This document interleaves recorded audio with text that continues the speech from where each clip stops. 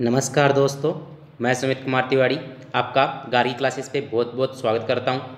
और दोस्तों, हम अध्ययन कर रहे थे जो अपनी राजस्थान में होने वाली प्रतियोगिता परीक्षा है रीट, जो फ़र्स्ट लेवल और सेकंड लेवल दोनों के लिए, जो कॉमन सब्जेक्ट है अपना, जो भाषा के लैंग्वेज के रूप में जो सब्जेक्ट है, वो है संस्कृत। और संस्कृत में दोस्तों, अपना जो टॉपिक चल रहा था, वो था वर्ण परिचय।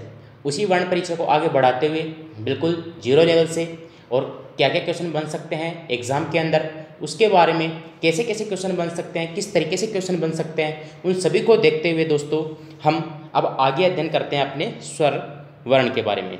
दोस्तों, जो स्वर वर्ण है, उसमें पिछले वीडियो में भी अपने देखा था कि स्वर कहते किसे हैं, जो स्वयं स्वतंत्र हो, किसी और की, जिसमें सहायता की अपेक्षा न की जाए, वह स्वर हैं। स्वयं राजंते स्वराहा अब दोस्तों, यहाँ पर आपको क्वेश्चन किस प्रकार से पूछेगा? या तो पूछ लेगा स्वर, किसे कहते हैं? तो आप सीधा सीधा बता सकते हो कि स्वयं राजंते इति स्वराहा। अगर आपको ब्लैंक दे दे मान लो कि स्वयं राजंते फिर डैश डैश डैश इति, और ऑप्शन के अंदर स्वराहा, व्यंजन, वर्ण, हल, कुछ भी दे तो आपको बताना होगा कि स्वयं राजंते इति डैश डैश में क्या आएगा? स्वराहा। तो स्वर जो है, वो बिना किसी की अपेक्षा, बिना किसी के सहयोग की अपेक्षा से बोले जाते हैं। और ये अपने आप में स्वतंत्र रहते हैं तो स्वरवर्ण है। इसके अलावा अपन ने बात की थी दोस्तों कि जो संस्कृत भाषा है, संस्कृत भाषा में स्वरों की संख्या कितनी है? तो संस्कृत भाषा ऑल ओवर संस्कृत भाषा की बात करें तो अपने को बताना है तेरह स्वर हैं, जिसके अंदर लघु और दीर्घ दोनों स्वर सम्मिलित है।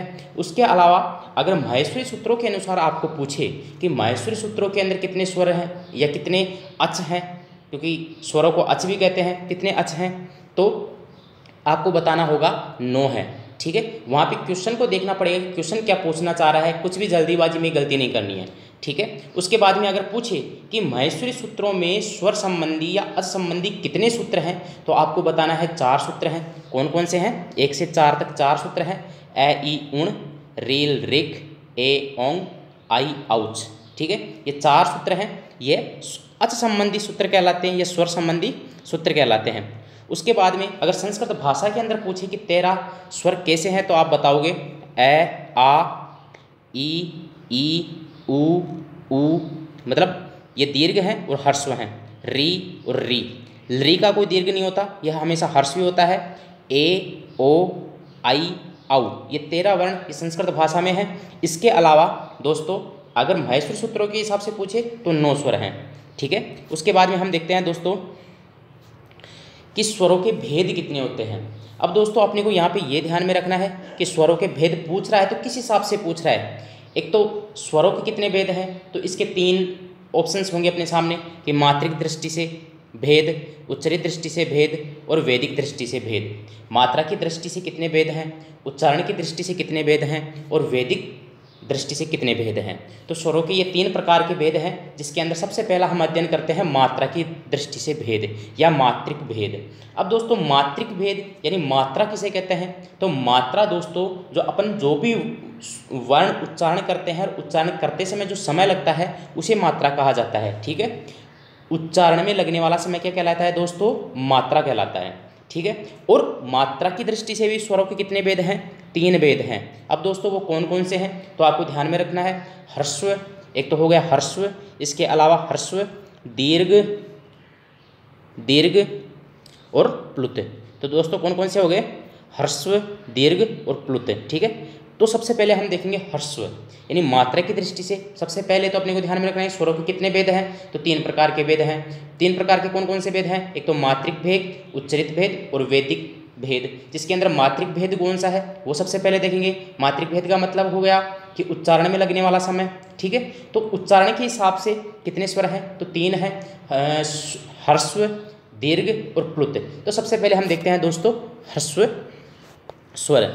देखो, इनको हम देखो दोस्तों, जो हर्स्व वर्ण होते हैं, इनको ये हम क्या कह सकते हैं? लघु भी कह सकते हैं और छोटा भी कह सकते हैं। क्यों कहते हैं? क्योंकि इनकी जो मात्रा है, उस मात्रा में अगर हम समय बताएँगे तो समय लगेगा एक सेकंड का, ठीक है? और इसके अंदर मात्रा कितनी होती है दोस्तों? एक मात्रिक होता है। यानी जो हर्स्व वर्ण है, उसे हम लघु वर्ण भी कह सकते हैं हर्स्व स्वर भी कह सकते हैं, लघु स्वर भी कह सकते हैं और छोटा स्वर भी कह सकते हैं। इनके इनमें समय कितना लगता है? एक सेकंड का समय लगता है। और ये कितने मात्रिक होते हैं? एक मात्रिक होते हैं। अब दोस्तों कि हर्स्व वर्ण या हर्स्व स्वर होते कितने हैं? तो ये पाँच प्रकार के हैं।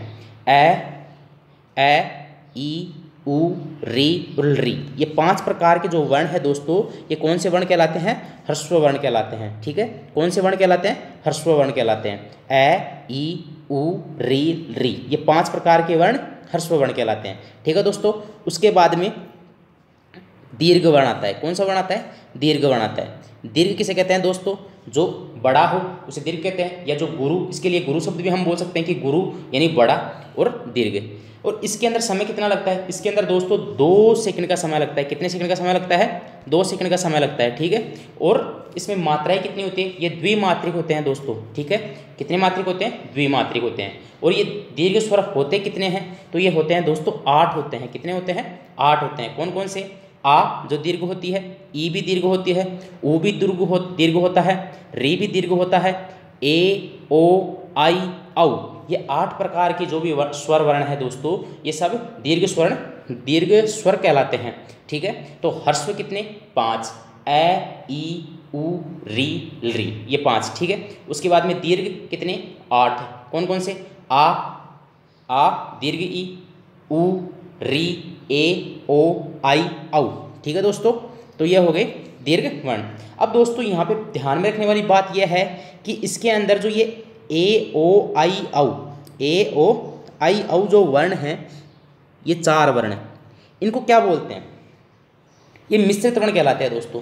ध्यान में रखना कौन से वर्ण कहलाते हैं? मिश्रित वर्ण कहलाते हैं। कैसे कहलाते हैं? वो मैं आपको आगे बताऊँगा, लेकिन अभी इन बात को ध्यान में रखना है कि दीर्घ जितने भी दीर्घ स्वर है, वो कितने हैं? आठ हैं।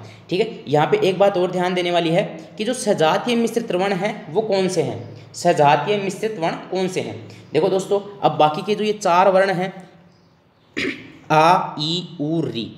आ, ई, ऊ, री। ये जो ये आठ में से चार वर्ण हैं। ये चार तो हैं सजातीय मिश्रित वर्ण, ठीक है? जिसे शुद्ध दीर्घ वर्ण भी कहा जाता है। और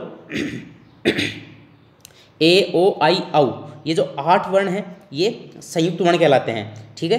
तो अब हम देखेंगे कि ये जो मिश्रित वर्ण है, वो कौन कौन से हैं? कैसे बने? देखो दोस्तों, आपको पता है ए प्लस ए मिलकर क्या बना? आ बना। ई प्लस ई मिलकर क्या बना? दीर्घ ई बना। ऊ प्लस ऊ मिलकर क्या बना? दीर्घ ऊ मिला। और री प्लस री मिलकर क्या बना? दीर्घ री बनता है। ठीक है दोस्तों? कौन सा बनता है? दीर्घ री। तो ये जो चार वर्ण है, ये कौन से वर्ण कहलाते हैं? सजातीय मिश्रित वर्ण। तो आपको ध्यान में रखना है कि हर्स्व वर्ण, हर्स्व स्वर कितने हैं? पाँच हैं। दीर्घ स्वर कितने हैं? आठ हैं। इसके अंदर सजातीय मिश्रित दीर्घ वर्ण कितने हैं? चार हैं। जो कौन कौन से हैं? आ, ई ऊ आ, ई ऊ और री। ठीक है? ठीक है दोस्तों? इसके बाद में अपना तीसरा जो आता है, वो तीसरा है प्लुतवर्ण कौन सा है दोस्तों? प्लुतवर्ण। और प्लुत किसे कहते हैं दोस्तों? यह त्रिमात्रिक होता है। कितना होता है? त्रिमात्रिक होता है। और त्रिमात्रिक होता है तो इसके अंदर उच्चारण में कितना समय लगेगा? तीन सेकंड से अधिक समय लगेगा।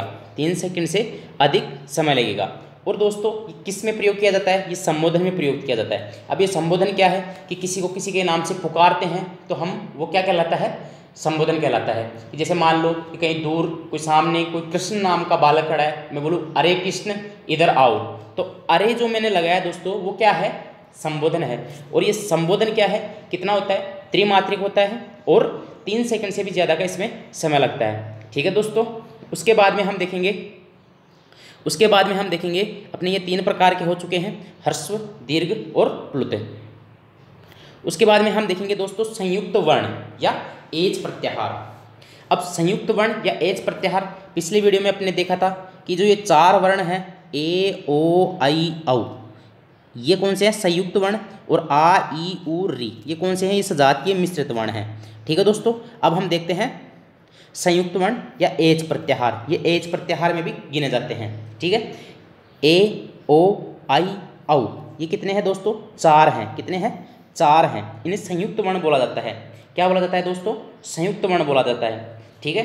हर्स्व वर्ण हो गया दीर्घ वर्ण हो गया दीर्घ में सजातीय चार वर्ण और संयुक्त चार वर्ण जिसे संयुक्त वर्ण को एज प्रत्याहार भी बोला जाता है। अब इनको एज प्रत्याहार क्यों बोलते हैं दोस्तों? इसको जानने के लिए अपने को महेश्वरी सूत्रों में जाना पड़ेगा। जो ये अपने महेश्वरी सूत्र हैं दोस्तों, यहाँ पर इन महेश्वरी सूत्रों में ध्यान में रखना होगा कि इनको एज प्रत्याहार क्यों बोलते हैं। देखना दोस्तों, आपको पता है कि जब भी प्रत्याहार की हम बात करते हैं तो प्रथम वर्ण से लगाकर अंतिम वर्ण तक अंतिम हल वर्ण तक जो भी वर्ण आएँगे, वो वह प्रत्याहार के अंदर कहलाएँगे। तो एज की बात करें तो ए, ओ, और ङ को छोड़ दो, क्योंकि यह हलंत है। आई, औ, ठीक है, और च को छोड़ दो। अब ये एच कैसे बना? प्रथम वर्ण कौन सा है? ए, और च, अंतिम वर्ण है। तो एच प्रत्याहार हो गया। इस प्रकार से ये जो संयुक्त वर्ण है, इसको एच प्रत्याहार भी कहा जाता है। और दोस्तों, इसको संयुक्त वर्ण भी कहा जाता है। तो ये चार प्रकार के हैं। उसके अलावा दोस्तों गुणवर्ण कौन से वर्ण गुणवर्ण अपने को ध्यान में रखना है, मात्रा की दृष्टि से तीन प्रकार के हो गए, हर्स्व, दीर्घ और प्लुत।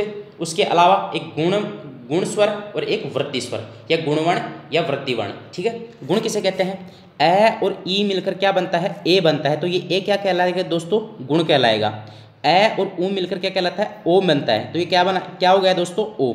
तो ए और ओ। यानी ये ए और ये ओ ये तो क्या कहलाएँगे? गुण कहलाएँगे। और ए प्लस ए मिलकर क्या कहलाया दोस्तों? एक आई और ए प्लस ओ मिलकर क्या कहलाया? औ। तो ये हो गए वृद्धि यानी दोस्तों, ये जो दो वर्ण है, ये तो हो गए गुणवर्ण इसमें, और इन संयुक्त वर्णों में ये दो जो दो वर्ण है, ये हो गए वृद्धि ठीक है दोस्तों? गुण हो गए ए ओ और वृद्धि हो गए आई औ तो दोस्तों उम्मीद है मेरे द्वारा दी गई ये जानकारी आपको बेहद पसंद आई होगी। अगर आपको ये जानकारी पसंद आई है तो प्लीज़ इसको लाइक करें सब्सक्राइब करें और बेल आइकन को दबाएँ। ठीक है? धन्यवाद।